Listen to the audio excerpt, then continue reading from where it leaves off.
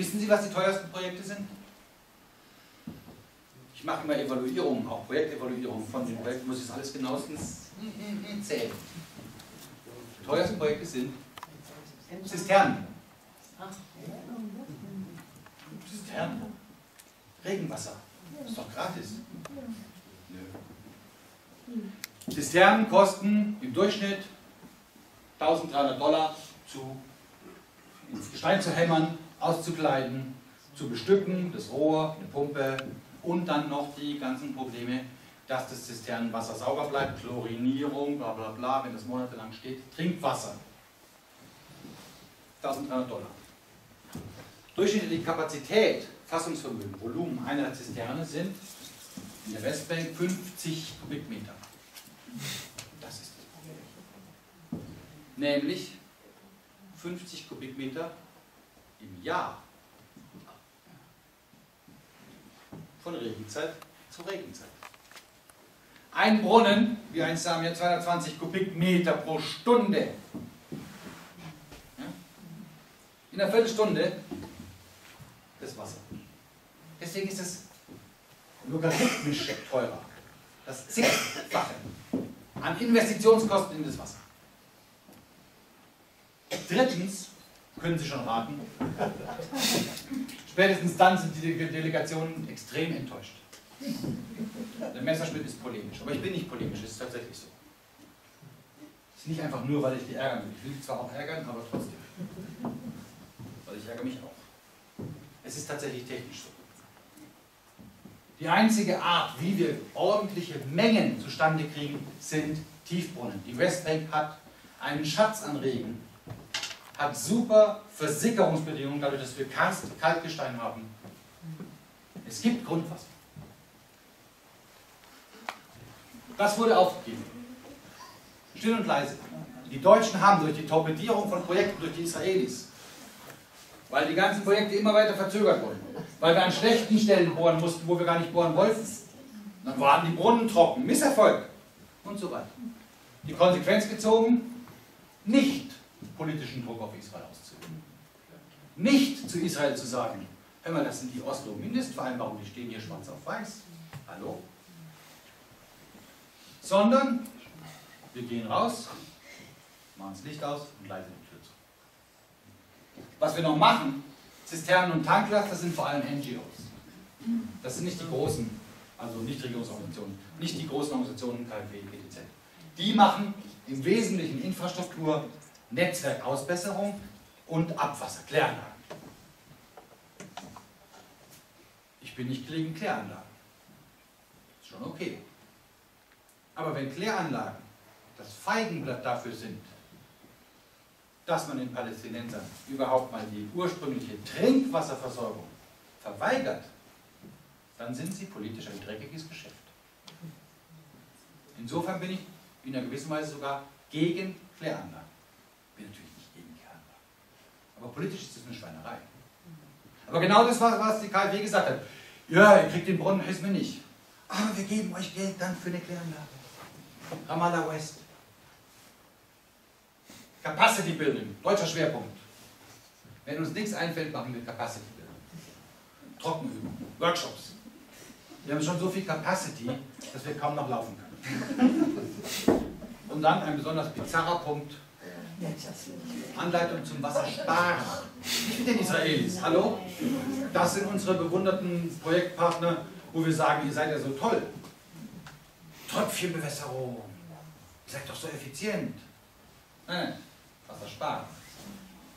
Hier, GTZ-Broschüre heißt inzwischen GIZ. Raising Public Awareness on Water Conservation. Unter dem Stichwort Level of Service Provision. Dann machen wir hier einen Workshop mit den Kindern. Wir malen uns eine Wasserversorgung mit Fingerfarben. Was ist? Ne, das ist meine Ironie.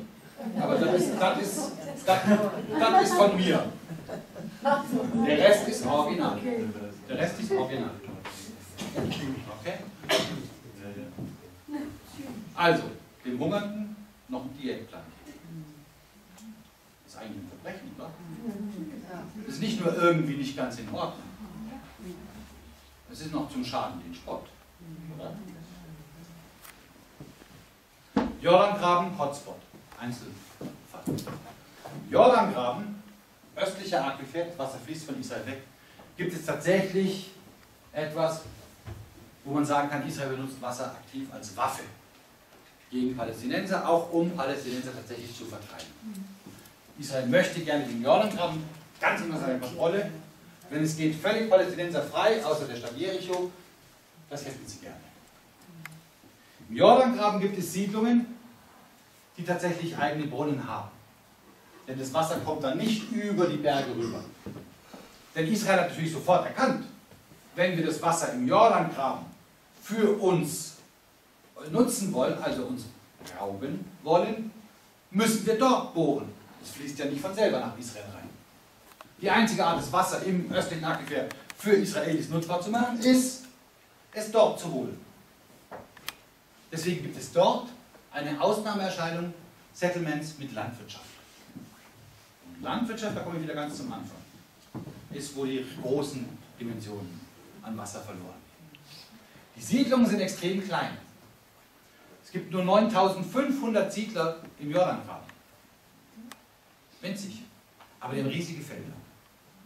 Dazu noch Military Zones, Settlement Councils und so weiter. Da ist fast schon eh nichts mehr übrig an Land für Palästinenser. Etwa 90.000 Palästinenser im Jordangraben und zwar alles C-Gebiete, bis auf diese Stadt Jericho. Alles C-Zonen. Typischer Fall, Bekarot. Gebaut von Mekarot, das ist hier auf das Schild, steht hier Mekarot, da steht dann Kadua. Bekarot 2, also Brunnen, Bekarot, oder Bohrloch, Bekarot 2 auf Hebräisch. Ja? Motor, Brunnenpumpe, die fetten weißen Rohre hier, die führen in die Siedlung. Dann gibt es hier ein Rohr für technische Verluste, hat nichts mit Nutzung zu tun, wo einfach nur technische Verluste abgelassen werden. Das ist es, was die Leute nebendran in Hadidie zur Verfügung haben. Auch ein illegales palästinensisches Dorf. Haben sowieso keine Wasserleitung, wurde schon viermal zerstört. Die Leute harren da irgendwie aus. Und Sie sehen hier offiziell israelische Zahlen, dokumentiert von Bezalem Wasserbericht. Die Websites sind ein bisschen schwer zugänglich, weil es auf Hebräisch ist und endlose Tabellen. Aber Bezalem hat es zum Glück ausgesucht, israelische Menschenrechtsorganisation. Trinkwasser, Zuweisung, Allokationen ja, für die illegalen Siedlungen im Jordangraben 400 Liter pro Kopf und Tag. Nicht 250, 400 Liter. Sogar die Siedlungen am Toten Meer, das ist besonders heiß, da kriegt jeder Siedler pro Tag 700 Liter Trinkwasser. Ich weiß nicht, wie man 700 Liter trinken will am Tag. Aber das sind die offiziellen Allokationen. Das ist nicht irgendwie mal zufällig, und das kann man jedes Jahr lesen. 9573 Siedler haben 41 Millionen Kubik. Die Palästinenser nebendran 80 82 oder hatte die 20 Liter. Das wären die, die drei Gegenden, die ich mal so als Beispiel ausgewählt habe. Schlimm, schlimm, schlimm, schlimm, schlimm. Aber halt, es wird leider noch schlimmer. Schauen wir uns an, Schiftlik, ein Dorf in der C-Zone, palästinensisches Dorf in Hamra, eine illegale Siedlung mit großen Feldern.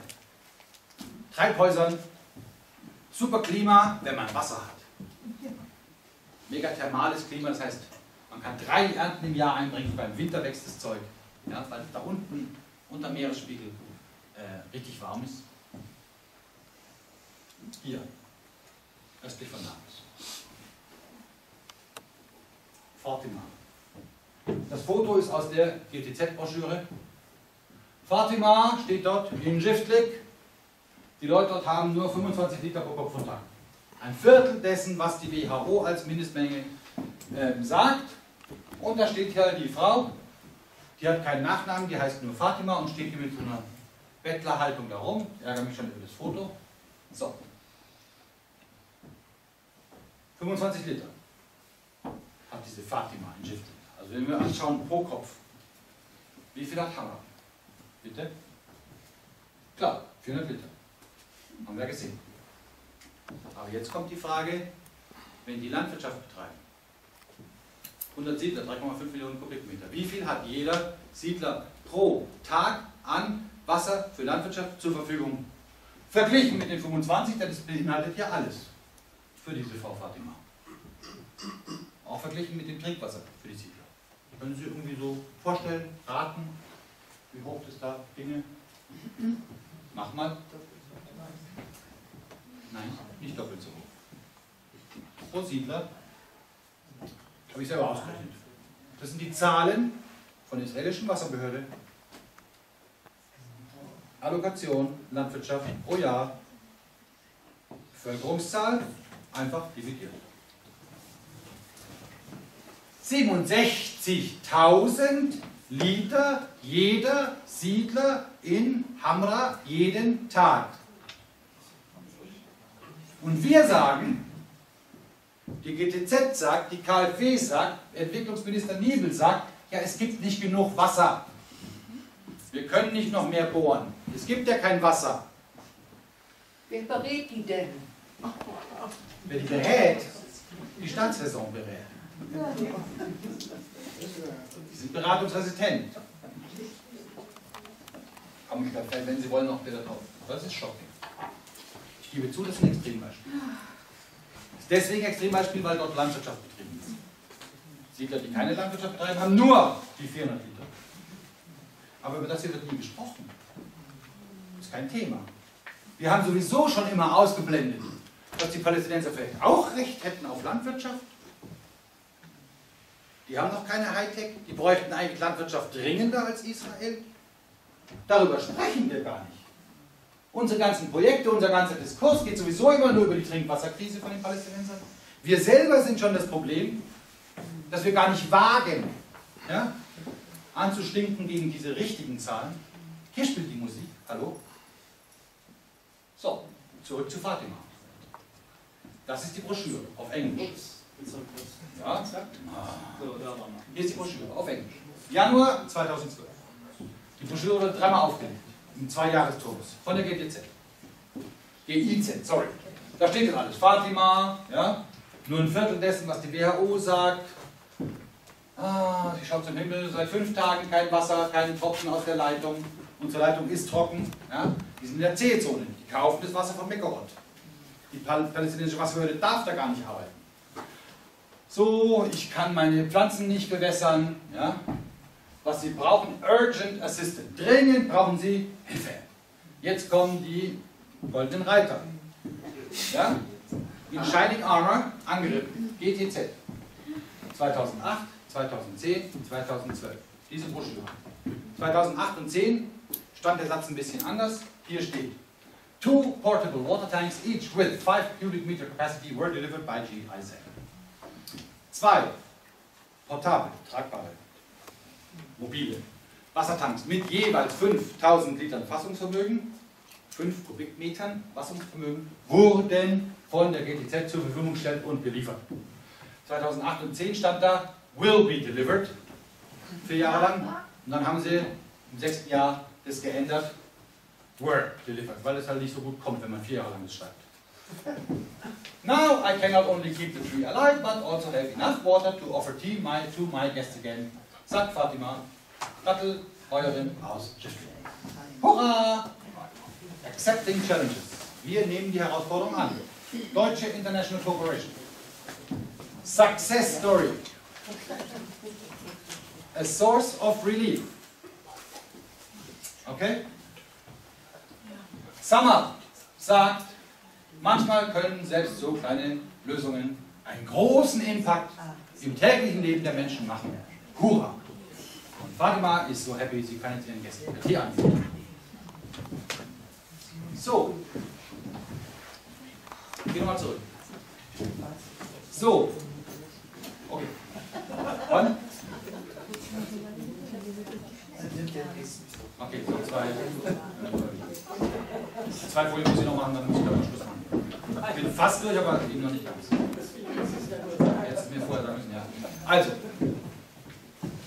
wenn wir diese zwei Wassertanks aufeinander um mal das nur zu versinnbildlichen, was wir da tun. So ein 5 Kubikmeter Tank hat da 3 Meter Höhe. Wir stellen die übereinander, dann werden die 6 Meter hoch. Wasserturm von 6 Metern. Okay? Höhe. Hat 10 Kubikmeter Fassungsvermögen. Wie hoch wäre der Turm für einen Siedler in Hamra Settlement, wenn man das Wasser aus den sechs Jahren, das der verbraucht, da reinstecken würde? Fatima 10 Meter, wie viel hat der? Raten Sie mal.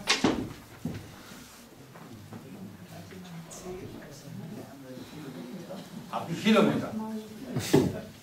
88.698 Meter, 10 mal Mount Everest.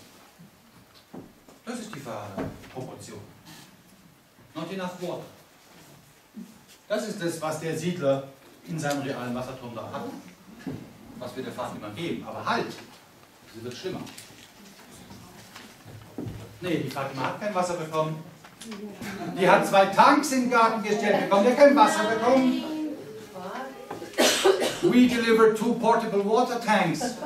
Zwei schwarze Plastikdinger haben wir hier reingestellt. Fatima hat aber gesagt, es ist seit fünf Tagen nichts mehr aus der Leitung gekommen. Hallo?